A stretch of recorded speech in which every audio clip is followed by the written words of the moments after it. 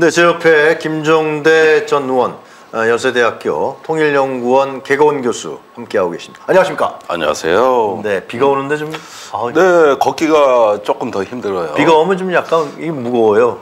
천천히 걸으시고 예, 이럴 때 또 우수에 젖어보는 것도 가끔 사람 멜랑꼴이 해줘야 되지. 뭐저이 어, 감정적인 순화가 된다고요. 아. 예, 예. 프랑스 가서 멜라꼴이 안 됐나? 글쎄, 그 이번에 가가지고 그 프랑스에서 뭐 PT는 열심히 한 것 같은데 네. 제가 보니까 뭐 사소한 의전상 뭐 지각을 했다 뭐 이런 얘기 다 빼고라도 음. 네. 왜 그런지 모르겠는데 한국의 이 소프트 파워 그렇지. 이게 다 어디로 간 거예요? 진짜. 어. 아니 왜 이렇게 표가 안 나와? 이거? 난 좀 이해가 안 가는 게 아, 이탈리아 그 일간지에서 보도한 거 말씀하신 예, 거죠? 물론 이탈리아 일간지기 때문에 좀 감안은 해야 됩니다만 네. 과거에 우리가 코로나를 잘 극복하고 이 참여민주주의와 IT 강국으로서 어떤 시민과 함께 이 재난을 이겨나가는 또 촛불혁명의 어떤 그 민주주의를 만든 그렇죠. 전 세계 그 쏟아지는 박수들 다 어디로 간 거예요 지금? 돌아요 부산은 부산 다방으로 가버렸습니다. 부산 다방으로. 예. 아, 그러니까 다방 네. 커피나 드시든가. 어. 예. 그런데 이게 아. 뭐냐면은 이번에 프랑스 유치 저기 저기 부산 엑스포 유치에 대해 가지고 가치 외교와 기업 외교를 내세웠단 말이에요. 그런데 여기서 한 가지 예. 의문이 있는 게 음. 사실 그 우리가 몰래 우크라이나에 포탄 50만 발 줬잖아요. 예. 음. 아니 줬으면 공개하고 음. 아니면 주질 말고 이래야 되는데 이렇게 몰래 주는 나라는 없거든요. 그래서 우리가 50만 발 기여했다 그러면 유럽에서 몰표가 나올 판이에요. 그렇죠. 원래대로라면 몰표 줘야지 진짜. 이건 어. 유럽에 있는 그 모든 군수 산업체 역량을 다 합쳐도 안 되는 거를 한국 혼자 해줬다. 이게 저기 그 저 이 정도의 어떤 기여면 그 이상 기여가 어디 있습니까? 근데 이거는 뭐 아주 수치스럽게 생각하고 몰래 몰래. 지금도 살상무기 지원 안 한다고 거짓말하고. 아. 근데 러시아는 안 속고. 어 그러는데 이 정도의 그 공공 어떤 그 기여를 했다 그러면은 저기 유럽의 정선 말입니다. 어. 예컨대 독일 같은 데 가보면 모든 관공서마다 우크라이나 국기가 걸려 있어요. 그 정도로 우크라이나에 대한 아. 어떤 그 저기 에, 저 민감성, 감수성이 음. 아주 그 많고 어그 반러시아 정서가 음. 팽배한 지역에서 우리가 50만 발 포탄으로 전세 뒤집었어 이러면은 유럽 전체에 몰표가 쏟아질 아니 판이에요. 그럼 지금. 그 파리에 가서. 그 얘기 좀 하지. 못하는 거죠. 왜요? 왜 못하느냐? 어, 왜 못하느냐? 일이 이걸 이렇게 어. 된 겁니다. 어. 주고 싶어 준 게 아니라 밀리고 밀려가지고 어. 준비 안 된 상태에서 장, 에, 저번 4월에 어. 한미 정상회담 하려고 입장료로 내놓은 거거든. 그러니까 어, 모양이 꼬인 거예요. 스타일 국인 거라고 이게. 입장료 비싸다. 예, 예. 아니 저 바이든 날리면 땐 천, 천억 원 냈잖아요. 그 1억 달러 기부. 아그 행사에 예, 맞아요. 음. 거기 가려고 1억 달러. 그래서 쪽팔리다는 표현이 그래서 나온 거 아니야? 막말 파동이. 에? 저 국회 이, 어, EXX들이 그게 그저그 1억 달러 국회에서 어. 승인 안 해 좀 쪽팔려서 어떡하냐.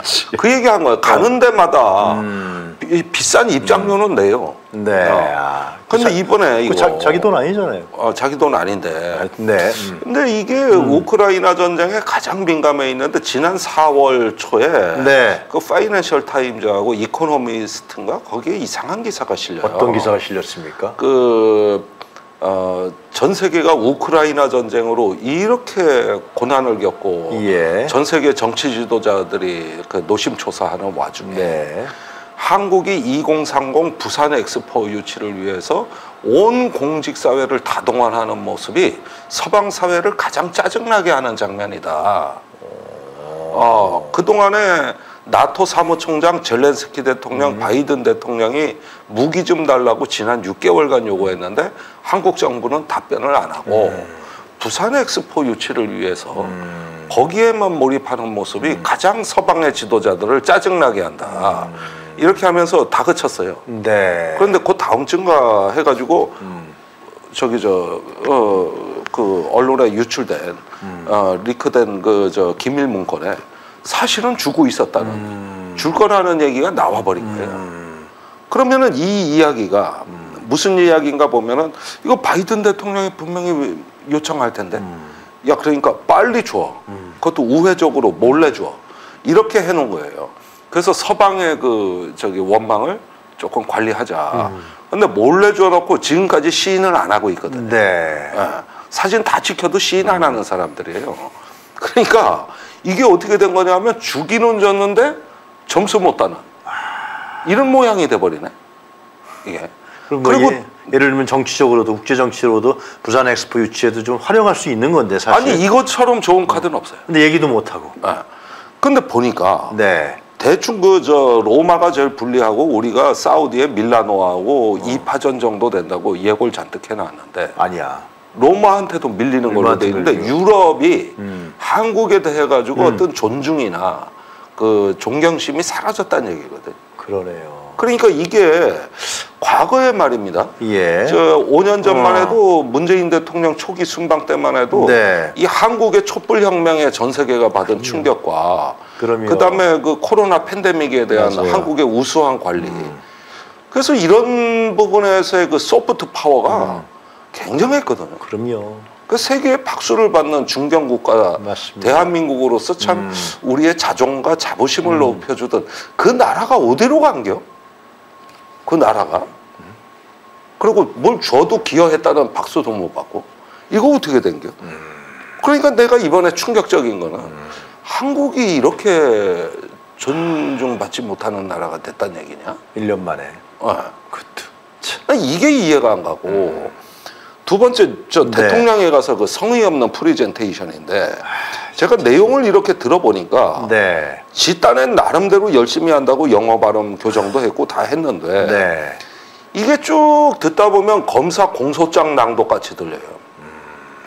우리 공직사회를 다 동원해서 우리 국가적으로 음. 총력을 다해서 이렇게 준비를 했고 뭐 하는데 이 컨셉은 네. 안 맞아요. 이게 아니라 지금은 세계의 회복과 그다음에 그렇지. 어떤 그 저 문명과 문화와 종교를 넘어선 연대 음, 그렇지. 그렇게 하면서 이렇게 설득과 호소 그렇지. 통합의 정신으로 가야 되는데 우리 국가가 어떤 나라인지 알아? 음. 아, 우리 이렇게 잘 사는 나라고 어쨌고 이번에 공무원들 다 동원했어 내가 음. 이렇게 해서 쭉 하는데 이 이야기는 내 이래 듣다 보면은 저거는 어떤 공사의 공소장 낭독이나 아니면은 음. 저 옛날 권위주의 대통령의 그 연두교서 같은 이런 느낌이란 말이야. 네.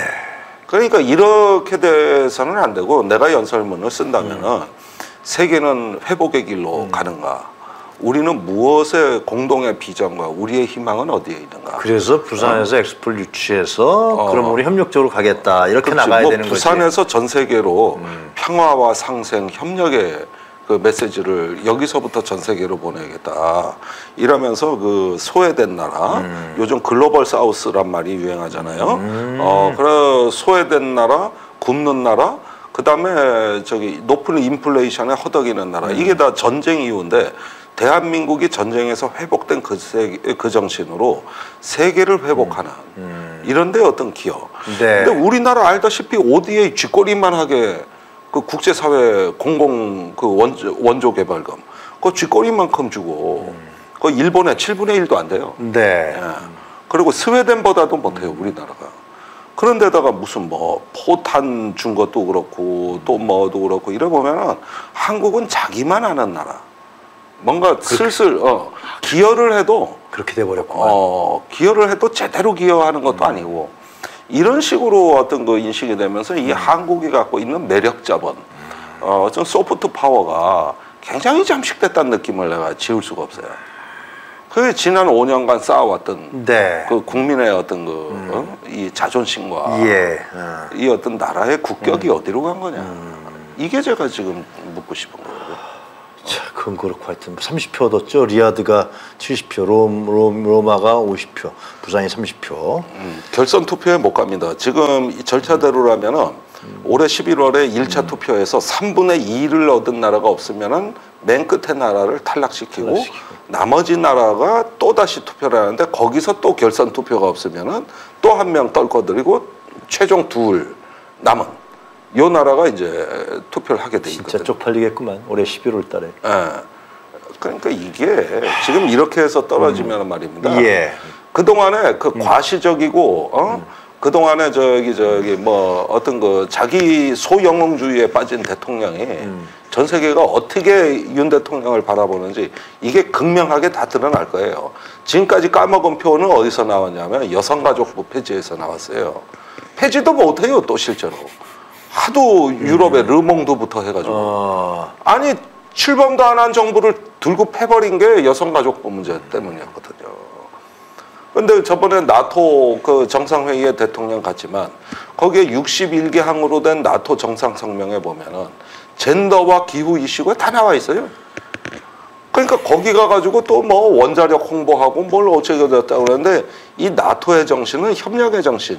EU와 협력해서 성평등과 장애와 아동에 대한 노동에 대한 이야기가 쭉 나온다고. 그건 G7 정상회담에도 나와요. 그러니까 이 공공 외교는 가치 외교란 건 이런 걸 얘기하는 거거든요. 그 성명서에 담긴 내용, 평화와 생태와 어 저기 그 안정과 그 다음에 젠더와 이걸 원래 가치 외교라고 하는 건데 우리 가치 외교는 그게 아닌가 봐요. 우리가 얘기하는 가치는 서방이 뭉쳐서 중국을 견제하고 장벽을 쌓아서 세계를 분할하자 이런 가치 외교가 되는 거니까 예, 저 국제 정치에서 말하는 가치 외교하고 달라요. 다르다고. 그 여성가족부 폐지 문제를 아직도 결론을 못 내리고 질질 끌고 오니까 전 세계 언론이 다 쓴 거예요. 어, 저기 한국의 극우 대통령이 나타났다. 워싱턴 포스트. 또 저기 저기 랜드 연구소의 그저 한국 수석 부위원장 보고서 우리는 이런 장면을 어디서 많이 본 익숙함이다. 무슨 얘기냐? 트럼프가 여- 여성들하고 서들이 극우로 가고 민주주의가 타락하더라. 우리가 지금 그 경로를 주목하고 있다. 누구에 대해서? 한국 대통령에 대해서. 이게 랜드 보고서거든요. 바이든이 윤이 아니라 룬이라고 한 것은 어. 그, 그런 여러 가지 부분들이 반영됐다고 봐야 돼. 그러니까 그러니까 그 출범 당시에 그 대한민국의 그 소프트 파워가 소진돼 버린 거예요. 여기서 그 스트롱맨이 나타났다.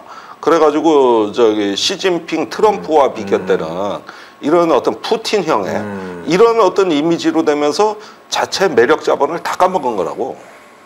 그러고 났는데 지금에 와서 이 국제 공공외교의 장으로 가면은 이 다자 외교의 장에서 엄청나게 홍보하고 기여한 것 같은데 문제는 보니까 안 나오잖아 표가 이 표가 다 어디 간 거예요 이게 쇠락하는 그 저, 권력의 그 모습을 본 거예요 그러니까 여러분들이 우리가 똑바로 진실을 직시해야 되는 게 이 정부의 생명력이 생각처럼 길지 않다. 어, 길지 않다. 그리고 생명의 그, 저 생존의 어떤 그 여력이 네. 의외로 그 자본이 많지가 않다. 음. 어, 빈약한 철학이다. 음. 이런 부분들을 느낄 수가 있는 것이죠. 예. 자 베트남은 가서 뭐 MOU도 맺고 뭐 여러 가지 아니 한것 뭐 9억 같은데. 달러 뭐 예, 그것도 뭐 다 해오던 거 그리고 9억 달러 가지고 이렇게 대통령 행사에서 약정서예요 이게 약정서거든요. 그 재물들 다 끌고 갔잖아요. 아니 우리가 탈중국 한다 그랬습니다. 음. 그 탈중국의 본질적인 건 뭐냐면은 공급망을 중국에서 동아시아로 옮기는 대체지로 간다는 거거든요. 그러면 인도 아니면은 베트남 아니면 인도네시아예요. 그렇죠 세 군데죠. 어. 어. 그런데 저기 이 정도 수준 갖고 탈중국 됩니까? 베트남이 중국의 대체지가 되나? 인도는 되나? 이게 지금 저기 탈중국을 하면 소도 말이야, 소도 말이에요. 비빌 언덕이 있어야 넘는 거예요. 어떤 그 이렇게 조금 비빌 언덕이 있고 아 집에 가면은 효자손이라도 있어야 등 긁는 거요. 지금 저 뭐냐 그 저 중국의 대체지로서 탈중국이 그러면 개발이 안 돼 있다는 네. 얘기인데 이 얘기대로라면 뭘 믿고 탈중국 얘기하신겨? 그렇다면은 네. 여기서는 9억 달러가 아니라 90억 달러 이상 거의 그, 그 이상이 가야 아 이제 우리가 중국하고는 저기 뭐야 공급망을 재편을 해도 대한민국 이상이 없겠구나. 새로운 신천지 기회 땅으로 가는구나. 아뭐 이런 거 있을 때 그 담론이 성립이 되는 건데 일본도 말 안 한 탈중국을 왜 우리가 그래? 근데 베트남 왜 간 거예요? 아니 거기 저 뭐냐 일정 정도 뭐 뭐 프랑스 갔다 어, 그냥 오기 프랑스 그러니까. 갔다가 어. 또 베트남이 옛날에 프랑스 식민지였잖아요. 아. 그러니까 이게 French 스타일이요. 이게 희한하다, 전반적으로 진짜. French 코드. 그러네. 어? 그런데 이런 데 가가지고 사실은 뭐냐면 우리 대통령은 평소에 두 개 생각밖에 안 해요. 국내에 있을 때는 야 어디 또 압수수색 할 데 없냐? 야 어디 또 기소해서 좀 손볼 놈 없냐? 이게 이제 국내형 사고고. 어. 어, 국제적으로는 어떻게 되냐면 야 어디 가서 사진 찍을 데 없냐? 또 영어 좀 하자 좀. 어? 야 내가 수능도 그 국어 초토화 시켰잖아 국어 수업. 영어는 내가 자신 있어. 어. 그러니까 야 어디 가가지고 좀 그런 거 할 거 없냐? 폼 나는데 이 사람은 국정에서 두 가지가 주된 생각이고 어, 그것도 이제 김건희가 또 이제 사진 찍어야 되니까. 이번에 또 아동하고 뭐, 또 찍었어. 어, 의료기관 가서 사진을 찍어 넣었고 어 그러고 보니까 오드리 헵번도 프랑스 쪽에서 한 거야 영국 사람인가 어 하여간 하여튼간에, 뭐, 어. 예. 어쨌든지 간에 그 로마의 휴일 같은 네. 또 저기 뭐야 어떤 그 아시아로 가고 유럽에 가면 또 본인이 이제 지중해식 미인인 줄 안다고 누가요? 김건희 여사가 아 그래요? 예.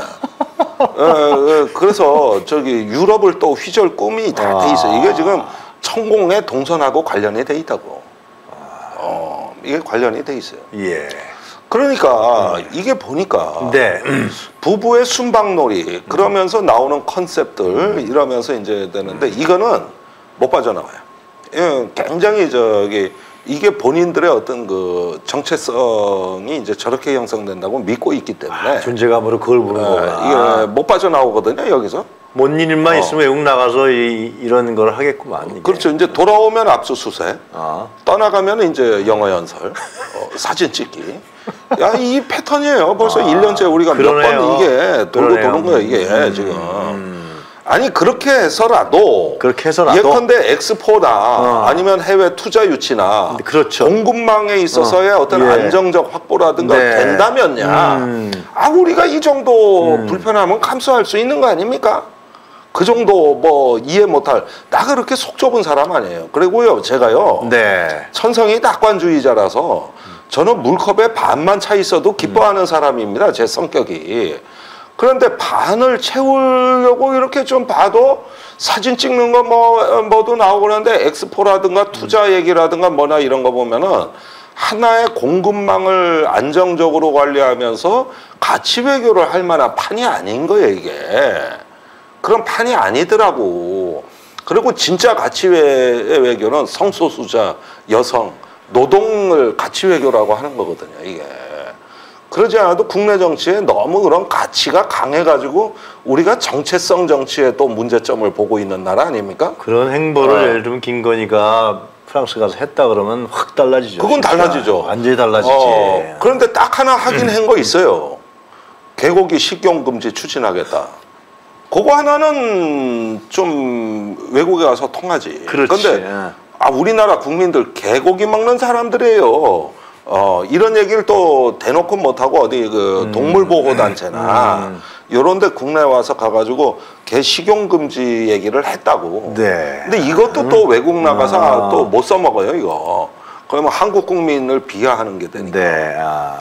그- 그러던 해 가지고 아니면은 뭐 그 얘기를 못 하면은 예. 개 식용 금지가 너무 과하다 싶으면은 걔는 앞으로 전골이 아니라 통조림으로만 먹겠다든가 뭐뭐 다른 얘기라도 해야 될 거 아니에요. 어쨌든지 간에. 의원님, 그 어젠가 6.25 전쟁 73주년이었는데요. 예. 윤석열 대통령이 강력한 힘만이 진정한 평화를 보장한다 이런 얘기를 했습니다. 아, 그 얘기는 했죠. 예. 뭐, 근데 거기까지는 저는 보수 대통령이고 자기 철학이니까 이해를 하고 예, 아. 또 사실 지- 정말로 힘을 많이 그 늘린 사람은 사실은 문재인 대통령이에요.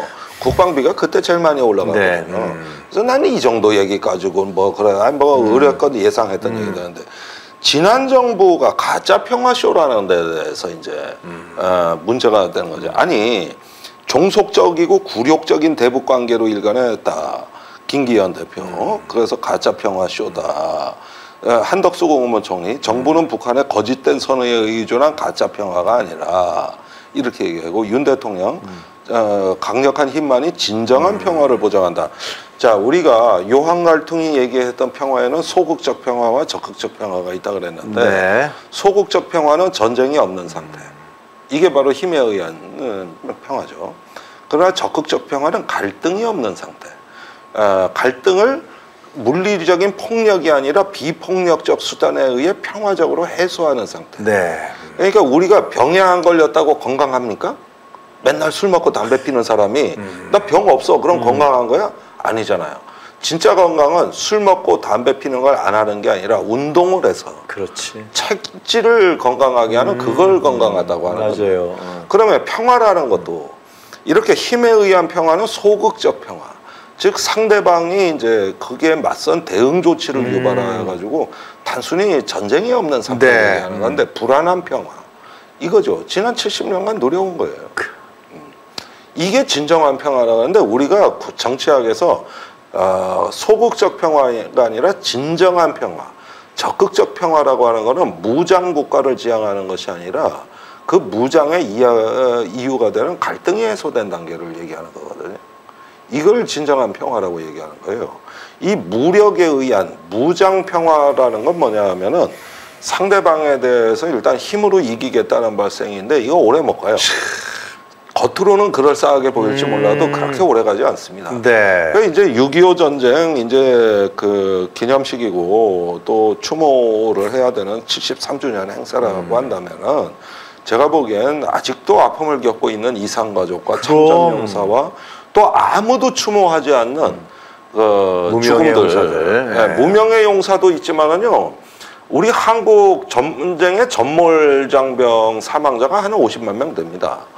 근데 민간인 사망자가 몇 명인지 아십니까? 남북한 합쳐서 270만.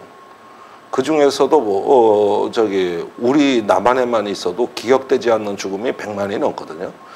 지난 70년 동안 단 한 번도 추모해 보지 않은 또 저기 정부 기념사에서 등장하지 않은 뭐 중요한 지적을 좀 하고 잊혀진 계십니다. 주적인데 매년 6월이 되면 전몰 군경 행사는 저렇게 많은데 네. 학살을 당했거나 네. 또는 억울한 죽음을 당했다는 행사를 했다는 얘기를 제가 들어본 적이 없어요. 보도연맹. 사건이라든 국민방위군 사건, 뭐 그거는 이제 있었고. 전쟁 전에도 그랬고 막상 전쟁 중에 그러니까 이 전쟁 사망자의 85%가 민간인인 전쟁은 한국 전쟁밖에 없거든. 저기 민간인 사망자가 1차 대전에 40%, 2차 대전이 69%거든요. 한국 전쟁이 85%예요. 이거는 전몰 공경 얘기를 하기엔 그 죽음이 너무나 그래서 한반도가 김재하 신임 말대로 하면 한반도는 원기로 가득 차 있다. 그 원기들의 아우성을 나는 시로 옮겼다. 이렇게 얘기하면서 시집 황토를 내지 않았습니까? 네. 그런데 그 죽음은 누가 기억하고 추모하는 게? 그러니까 6월이 되면 네. 전몰 공경 추모하고 보훈 네. 정책 해야죠. 그러나 그 너무나 진짜 죽음에 대해서 이 원기로 가득 찬 원혼의 음. 그거는 우리가 아무도 이야기하지 않아요 지금 시인들이 다 죽었거든. 네. 김난조 시인도 죽었고, 어 김지아 시인도 죽었고, 음. 어 이제 남아 있는 그러니까 그 프랑스 샹송의 시인은 죽지 않는다. 이게 이제 한국 번안이 돼가지고 예. 이제 누구라도 그러하듯이라는 음. 가요로 통했지만 네네. 원래는 뭐냐면 시인은 죽지 않는다인데 우리나라는 시인이 죽은 나라예요. 예.